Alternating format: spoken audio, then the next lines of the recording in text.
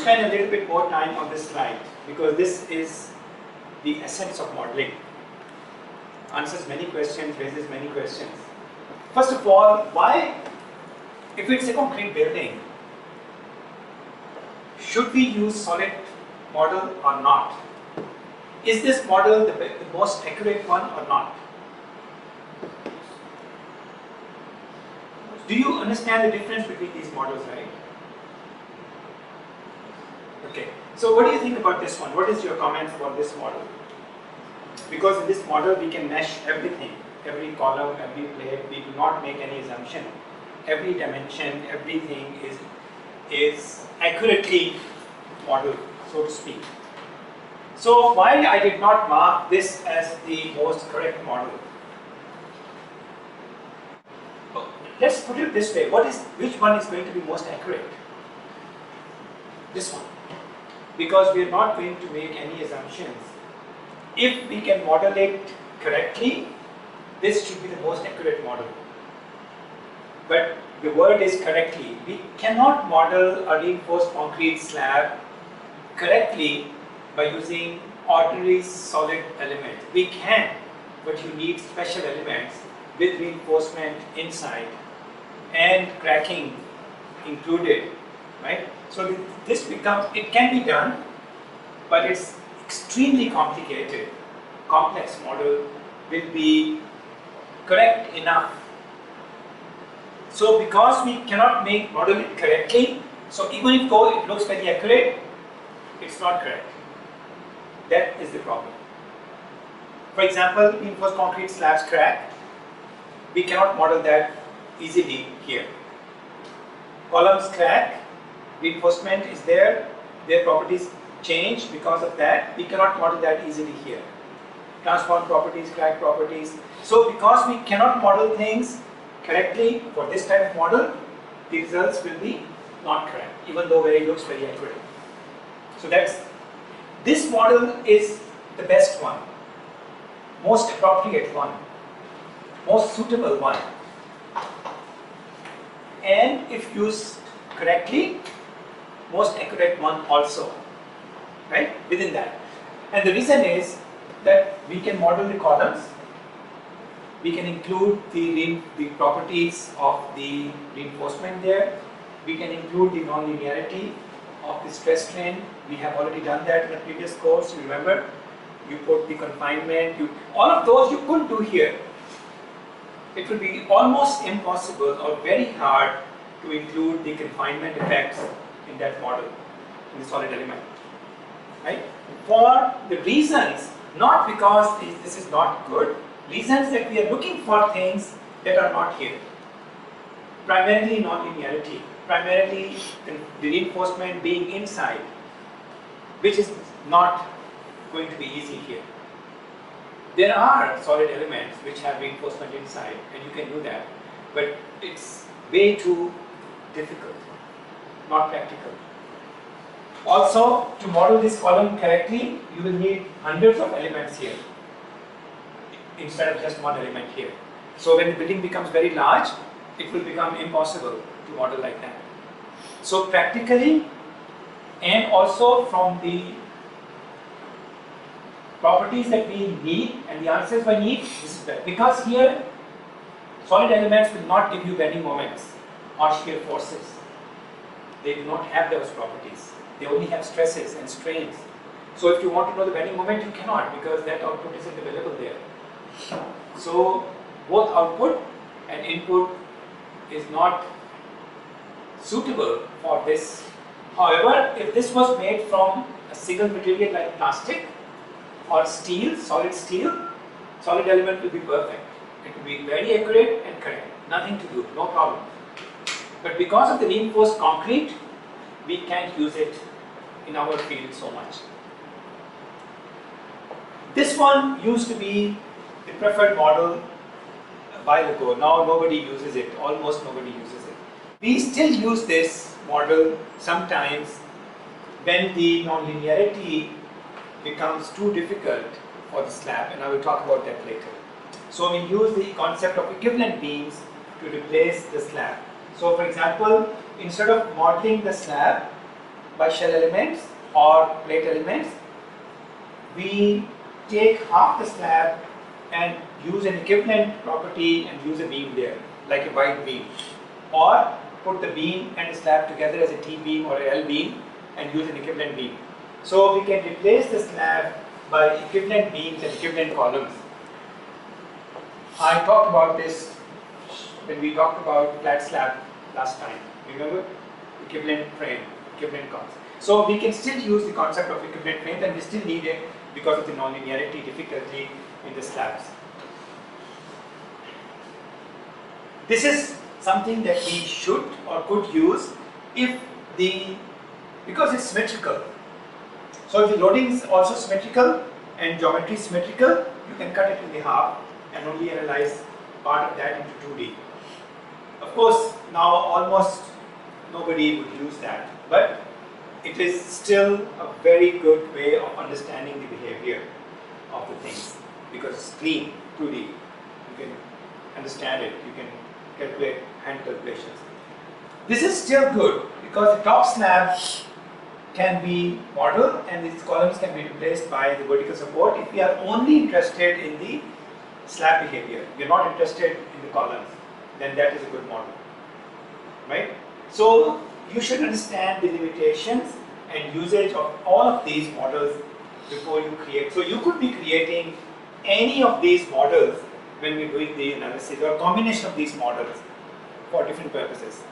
So every model is correct depending upon the purpose and if we use it correctly. And every model can be incorrect if we do not model correctly even though it may look very accurate.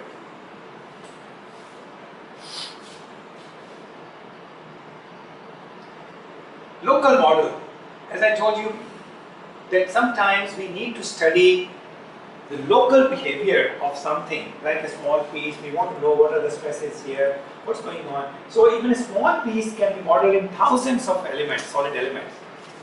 And then we can study the behavior of those components. So it's quite possible that a small mechanical you know, model or, or finite element model of this glasses so that it won't break. Normally it doesn't break, I drop it many times. So somebody must have done a good finite element modeling for this one, including everything. So they modeled it in solid elements with everything, and then it would be very accurate because they're going to make it any time. It's quite expensive, so they can afford it, right? So sometimes small objects we can create micro models and then we can create them in a lot of detail and then we can spend a lot of time studying them. Sometimes we use combination of macro and micro modeling. For example, if I go back,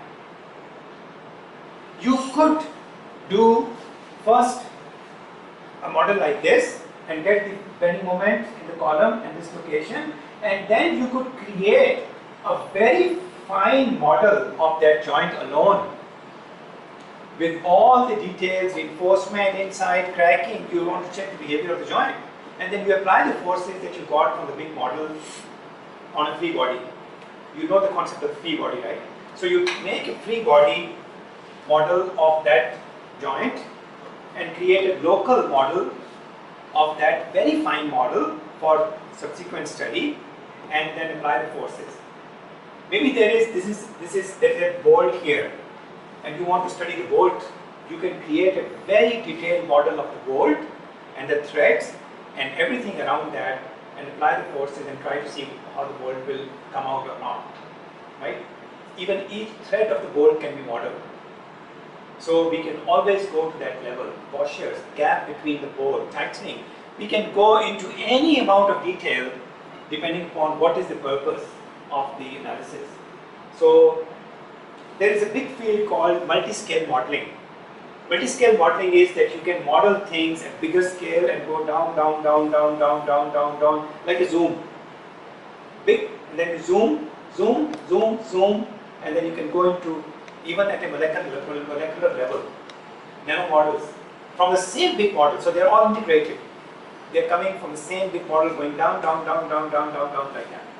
Right? And this is an area that I would like to do some more research on multi-scale modeling. How we can create, maybe next year we'll offer a thesis on this one. Or we can create multi-scale models to investigate the behavior right down to the final point and build them up, build them down, automatically creating models and transferring the boundary conditions, transferring the false forces down. Right? So it could be possible that you have a big, big model like this and somebody wants to know what is going on here. You zoom onto that one and while we are zooming, we create a submodel at that time and analyze it so we can see the details. So the model is not really analyzed completely. We mesh it at the time that we are zooming in and do the analysis at that time and get the results. So it will seem that we have the detailed results for the entire building, but actually we don't, right? So that can kind of modeling could be done, and when the computers become faster and everything, it could be real time, right? Or it could take take a while, very slow zooming. So that's the kind of thing that we would like to work on. All right. This is the element-based model. Element-based model means that you have a shear wall, you mesh it, you have a slab, you mesh it, you have beam, you mesh it. Everything you have to create the mesh by yourself and connect the mesh by yourself. We almost don't do that anymore. The key, key problem is identify basic issues and need for modeling and then show, see how materials are presented in model. Very important. The main problem, as I said in the modeling, is materials. How are you going to represent the material? Where are you going to get all the properties? In finite element analysis, we can put thousands of properties that you need, not thousands, hundreds of properties that you need. So these are basically, that's all you have. These are the three types of main elements that you have that are available to you to be used. Of course, when you go to ANSYS or other programs, they might give you hundreds of elements, but they're all derivatives of the same elements, right? Different is, difference is how they are implemented, what properties they have, and so on and so forth. Uh, there are solid elements with reinforcement inside, which is smeared. That means average reinforcement is assumed on each direction, right? And then the smear cracking, so average cracking, they, you know, they calculate the average stress and they do the cracking. So it's a lot of stuff there. So we need to understand these basically three these elements. Line, 2D, 3D, and behavior element, which I will talk about later. Modeling approaches. This is what now the object-based programming looks like. You don't mesh anything. You just tell them, this is my column, this is my slab, you have seen it in ETABS, and then the program comes in and it does all the meshing inside for you. It still does the same that we did before, but it does it automatically. Correctly or incorrectly, we don't know. Right? We are relying now on the, the programmers and believe we believe that the programmers are smarter than us. Right? Which may not be the case all the time. So good engineers still don't want to use auto meshing. They still prefer to use manual meshing. Right?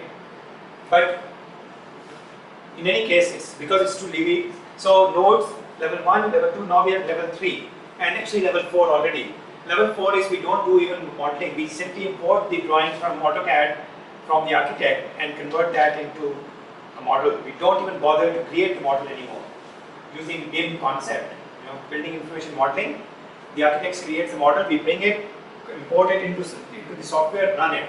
Don't know what happened, where, what is the what it was what was imported. You know, sometimes we, we have seen in some models, even the pipes get modeled drainage pipes were there in the drawing, that also got modeled. A small hole, they put it, that also got modeled. Ridiculous, right? But that's how it's going. So, coming back to the elements, but obviously we are doing more than that. So we need to understand. The most important thing in a model is joint, connection. Ultimately, finite element software, as you know, only solve the solution at the nodes correct? So everything is converted into points and nodes. So node is the key to the finite element analysis. And in between the nodes, there is a invisible connection coming from the element. And that is the properties, and that is converted, the stiffness is added back to the nodes, right? So these joints, we need to understand what are they and what we can do with them. So joints can be used to connect elements. Joints can be used to apply loading. Joints can be used to apply constraints or supports. Joints can be used to disconnect elements. Joints can be used to do a lot of things. So we need to understand what is a joint, how they work, what are their properties, you know. So I don't want to read this text. I expect you to read it. I'm just telling you that joints are the most important thing in a model. You must understand. And each joint, joint is not round. Joint has a local axis. So think of the joint as a cube, not as a point. Because if you think of it as a point, you lose the effect of the degrees of freedom, you lose the effect of the direction, and you lose the effect of the local coordinates. So never, don't think of a joint as a, as a because there's no wrong round thing. It's a it's like a cube. Right? When you think of it as a cube, many things will come clear.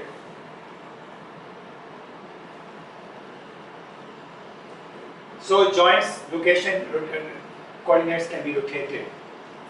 Why is so important? We, of course, in the beginning, we didn't used to have this ability to rotate the local coordinates. Originally, finite element development, in fact, still deeper inside, everything is still global. Only one coordinate system. We go through many transformation matrices to convert from one to the other to the other, but ultimately they're all in global x, y, z, right? So internally the joints are like that, but before we can do that, we need to have the ability to have to move the joints, rotate the joints. Why? Because sometimes the supports are inclined, sometimes the connections are inclined. So if there is an inclined support, you could not model, for example, this support without this one.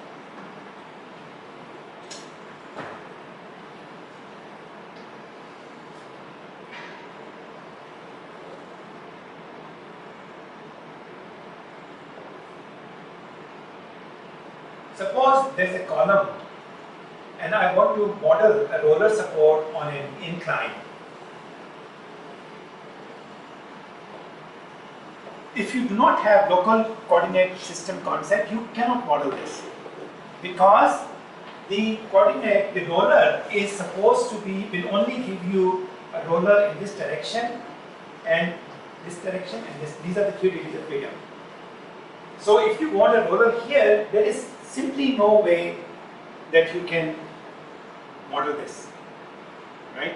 So of course, when we used to model this without this one, we always had to find a trick to do this, right?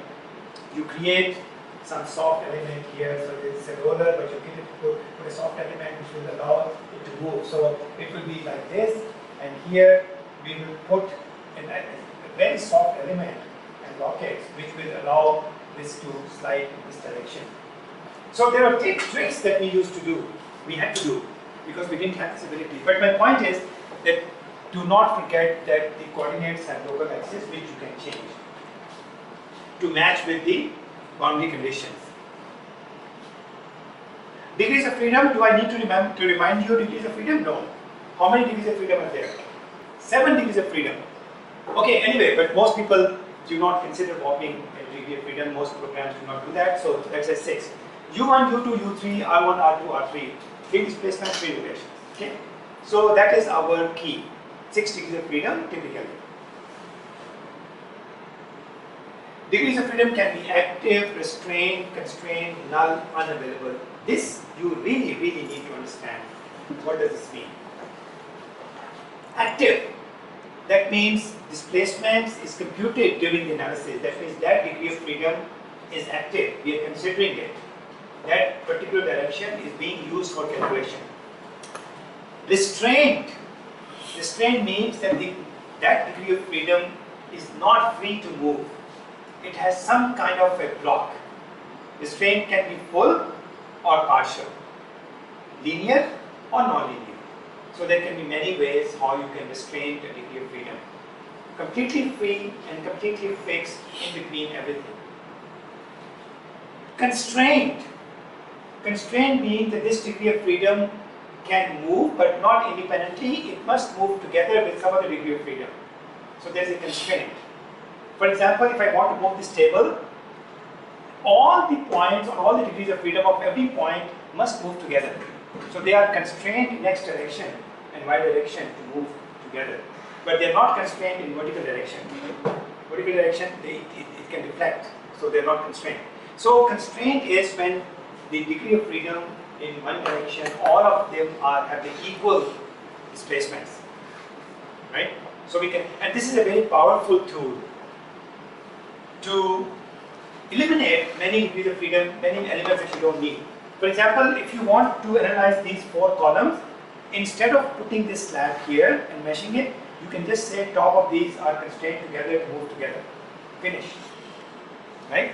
You don't need this anymore if you are not interested in the vertical displacement. And that is called the rigid floor diaphragm, diaphragm concept, which people have been using for a long time to reduce the complete degrees of freedom by constraining the degrees of freedom by invisible links. So very powerful way to model stuff. Very powerful if you know how to use it. Constraint, of course, null displacements does not affect the structure. They, these are no, not at all considered. So the degrees of freedom are ignored. And then unavailable, this displacement has been excluded from analysis, right? Explicitly. For example, if it's a three-dimensional program, but you only want to do analysis in 2D, all the other degrees of freedom outside the plane can become un unavailable. Degrees of freedom which are flexible degrees of freedom. That means there is a support, but the support is not itself a rigid support. The support can is a soft support, which is always the case. Soil is a soft support, right?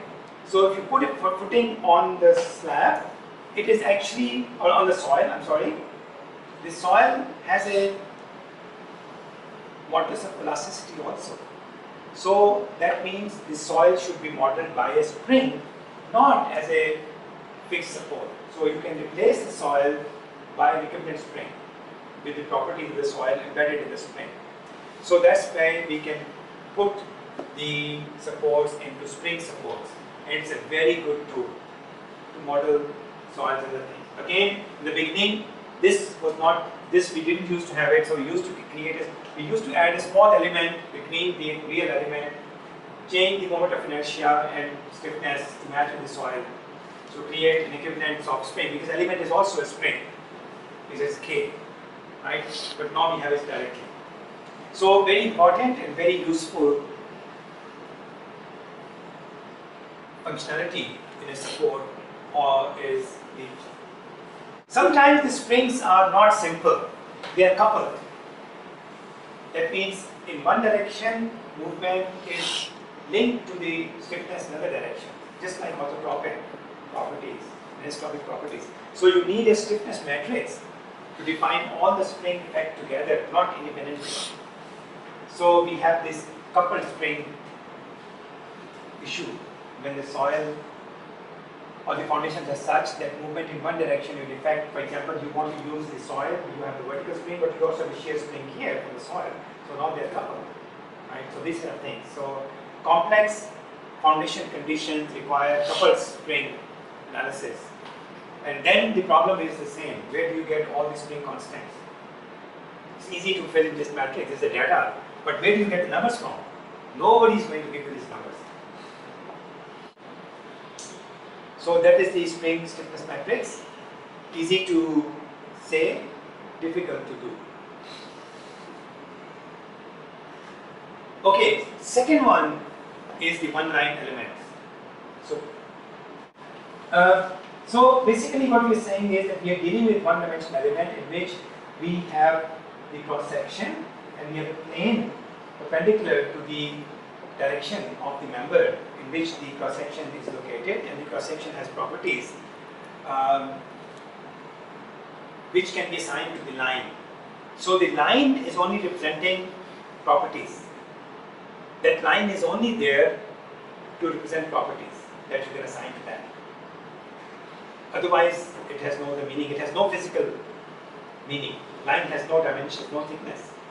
It's just line. Just like point has no dimensions, line has only length, no dimensions. And dimensions are coming from properties calculated from the cross section connected to that line.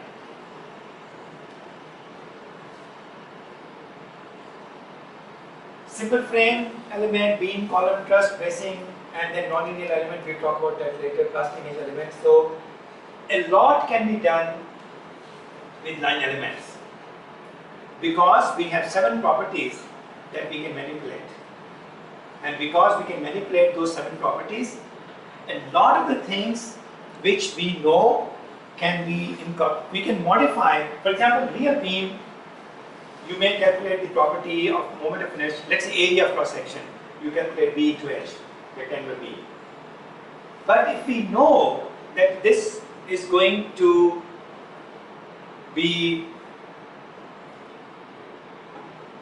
changed during any time or there is going to be some holes in it or some cracking in it, we can multiply it by a factor which is called property reduction factor. So we can say, okay, this is an area, but only 90% of that is effective. So we can multiply the area by 0.9. So very easy to modify the properties to include many things which will be very difficult to do in reality. But that you cannot do in a solid element. Solid element is real dimensions. So there is no room for manipulation. That is why many engineers prefer line elements because you can manipulate the properties to include a lot of behavior which otherwise cannot be included explicitly. So that is why when you, are when you are going to use SAP or, or ETABS, sorry, you will find that it will ask you that this is the beam, what are the property modifiers? Am I going to use the same property that I calculate or do you want to multiply, modify it by some factors?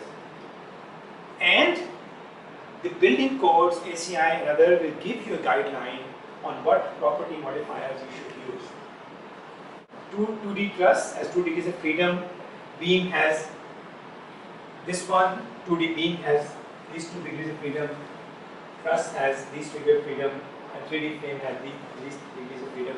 So basically, degrees of freedom for a line element at each node can be 2 or 3 or 6, right? Okay, joint connectivity.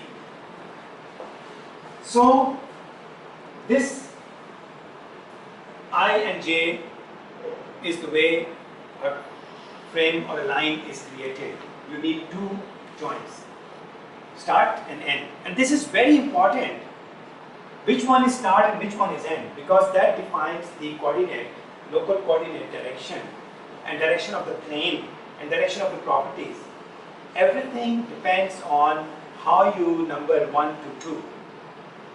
Because the direction of major moment, minor moment, cross-section properties, everything will depend on that. So if you make a mistake in this uh, or the angle of the properties, you can get into real trouble. And we used to get into real trouble when we didn't have the computer graphics to show us how the beam is placed. So we think that we have placed the beam like this, but actually the beam will be like this. So minor moment of inertia will be here, major will be here. So we will get large deflection, not understanding what happened.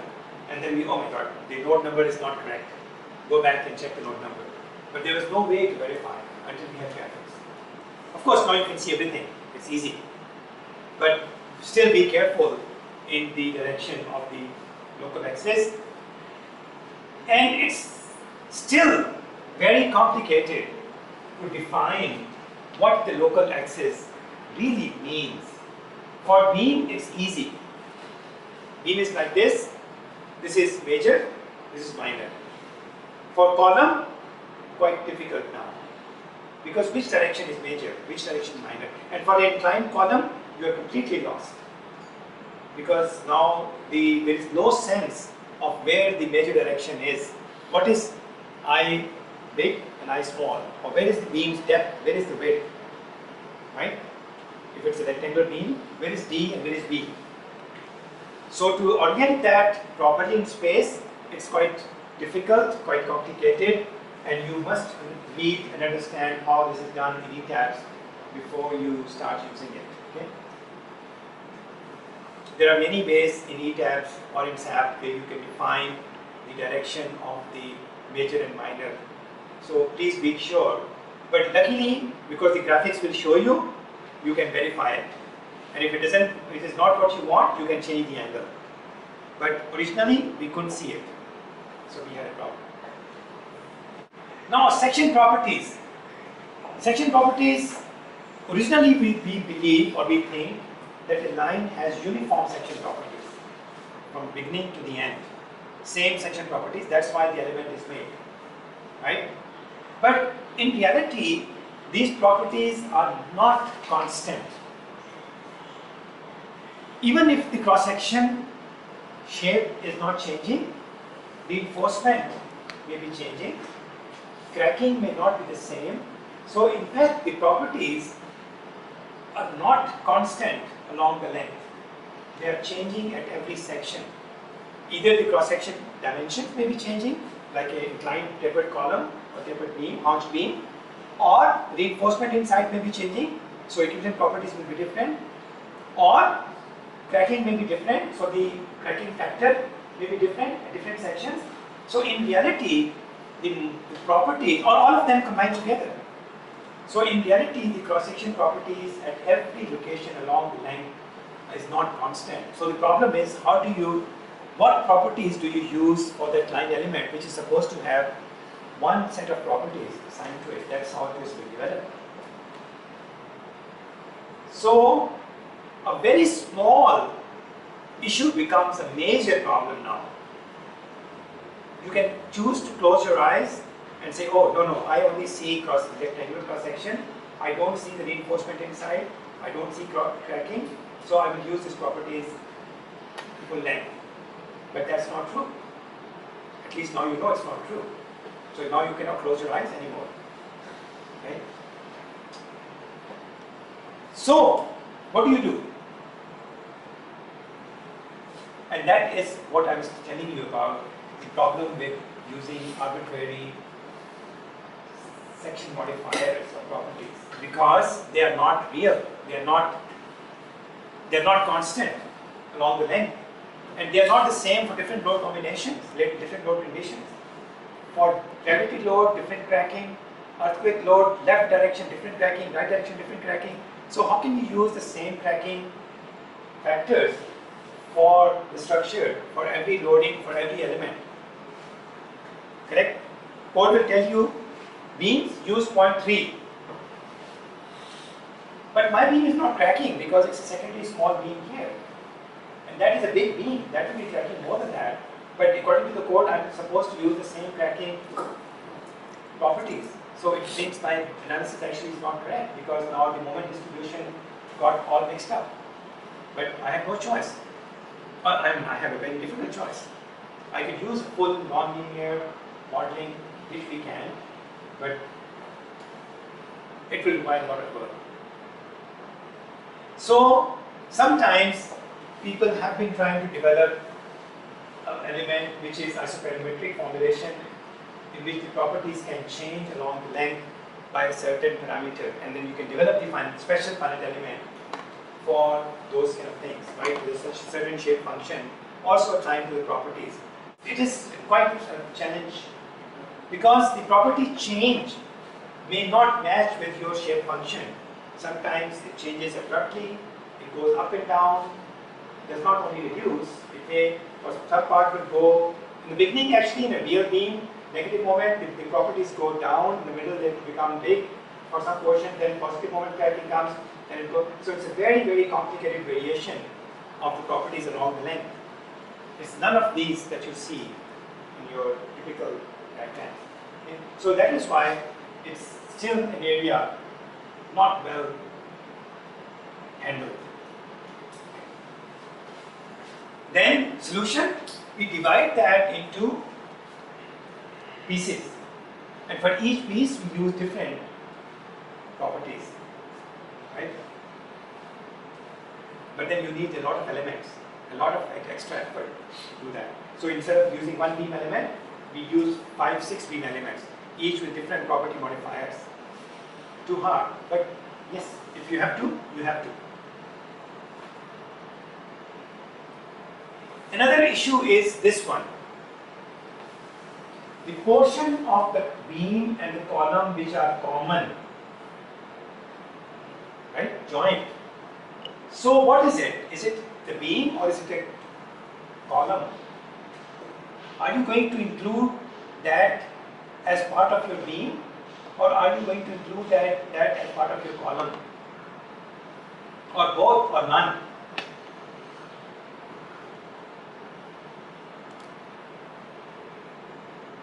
You might think, oh, this is not a big deal, but it is a big deal because sometimes in tall buildings, especially, the columns are very big. Like I said, 1.8 meter. 1.8 meter from there to approximately here. That is the size of the column. So how can you ignore that column for the beam?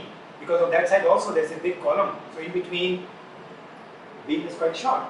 So if you ignore that, that means your moment diagram, reflection, everything is wrong because you're increasing the beam span by one and a half meter. So which means that we have got to make adjustments. So typically what we do is that we consider the beam to start at the face of the column and start the, the column at the bottom of the beam, right? And we say these are the portion from here to here and from here to here is rigid. That portion is assumed to be rigid, non-deformable, separate kind of uh, connection. So beam element ends here and whatever deformations are here are rigidly transferred to this point. And whatever deformations are here are rigidly transferred to this point. So the joint is assumed to be rigid, rotating as if it cannot deform. True or false? False, right? So we start with a false statement, but we have no choice, or we have a choice, but a hard choice. So we can use no offsets, we can use offsets, or we can use offsets with flexible connections. You can specify the connection to be a flexible one, partially rigid connection by putting some multiplier to that, just like property multiplier. But how do you calculate? What is the efficiency of a joint? How do you know what is joint is, how many percent non-rigid?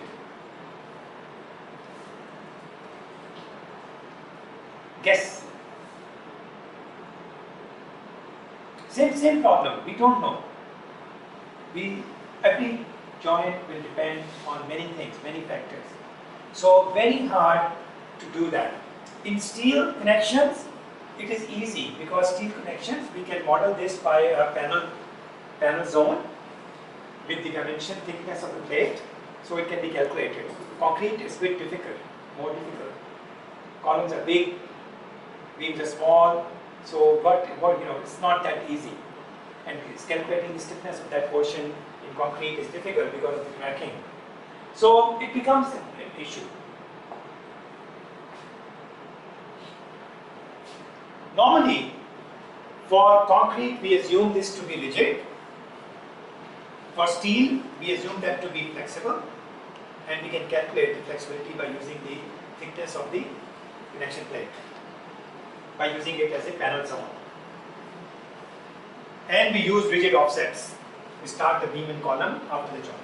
That is the typical way we do it. And sometimes we can have this kind of thing, as I said, this is rigid, this zone, or we can have a panel zone there. Right? So this is more clear, clear length, total length, and we do that. Of course, when, when we want to put in the beginning, this was very difficult to do that. So what would we do? We would model this by th three elements. One, two, three. This element, moment of inertia, increased by 10 times compared to the beam to make it rigid. So artificially doing these things because program did not have the function. Now we knew this problem, but program did not have the option to specify rigid zones. So we used to create three elements there manually. So like I said, we had to find solutions for every problem which now the program can consider automatically. Sometimes the connection coming to between the column and the beam may not be rigid. It may be a flexible connection or a pin connection, right? or just a shear connection. So depending on that, we can use and releases. We can put axial shear torsion or moment release. So the degree of freedom coming from this beam to the column can be released one by one. You can release torsion, axial, shear, or moment, or all of them. Right? So it is a good way to model pin connections and other things. So combination of rigid ends and end releases and flexible connections give you a lot of ability to model things the way you want. But still we have to choose what do we want. Right? So the program gives you all of that ability.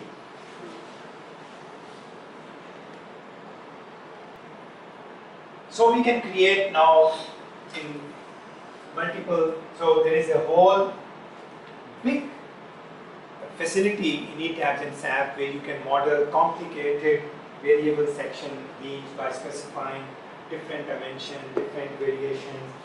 So they have done a lot of work to solve the problem of the variable dimensions, variable cross sections. So you can do quite a good complicated modeling of variable variable properties. They can be parabolic, they can be linear, many, quite comprehensive. A lot of work has been done. So 1D elements can be used like that. You can use it in 2D frame, you can use it in 3D frame, or you can use it in 2D frame. Okay, we stop here. Questions, comments?